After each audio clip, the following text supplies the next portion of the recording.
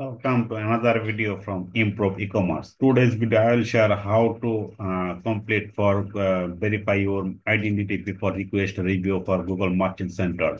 Uh, maximum Google Merchant Center need for identity because your identity Google verified. Okay, so I can uh, share how to complete for verify identity from Google Merchant Center for misrepresentation issue.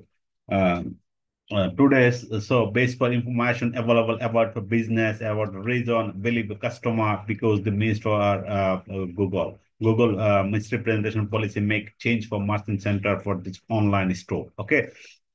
So first of all you can go into this uh, for this uh, uh, fixing option okay? Going to this fix click the fix. Then you can check the everything for i disagree with this one okay? I disagree for with this issue first uh, DJ probe. Okay, so first of all, you can go into this uh, identity verification for this Google identity, verify your identity. Then verify your identity before request a review. The first uh, select for this uh, create, and select or create payment profile with the um, restrictions for business identity. Uh, no payment information required. Okay, so just uh, you need for this uh, one Google payment profile. No need payment information verify your business identity. You will need for provide documentation, verify your identity, get started, CEO documents might, uh, might need. You can uh, use any country for this uh, government issues ID like a passport, like a ID card, like your driving license, everything. And just need for this identity.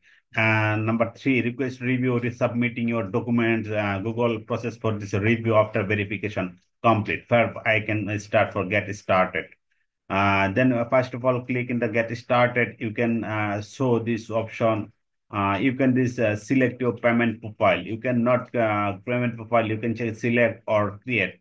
you cannot create, then you will create. I can already created this profile, then select my payment profile. Then first of all, you can see this uh, individual option for this one, and you can you no need for this one uh, create new payment profile. Okay, I can click this uh, previous created payment profile. Uh, then I can see I am everything uploaded this one already verified no problem I can just submit for this one and then going to this finish okay so uh, I can share now option. You can checking this. Uh, uh, I disagree already remove for disagree uh, identity verification option. Just you can click for I disagree for this issue. I can see this issue misrepresented issue. I can uh, click this uh, this disagreed issue. Then make sure um, online store for product complete for misrepresentation policy. Then uh, my account meets for policy policy requirement. Okay, I can check box uh, then request and review. Make sure you can meet this review. No problem. I can checking this one. Uh, review requested on uh, May 11 for 2021, 25. You can make few days. Okay. Up to seven days. What you can uh, result as soon as possible. I can share next video for result. I can uh, hope uh, and uh, complete for this misrepresentation issue. This website. Thank you everyone. Show this video. Just like and hits button and comments uh, and what is the problem.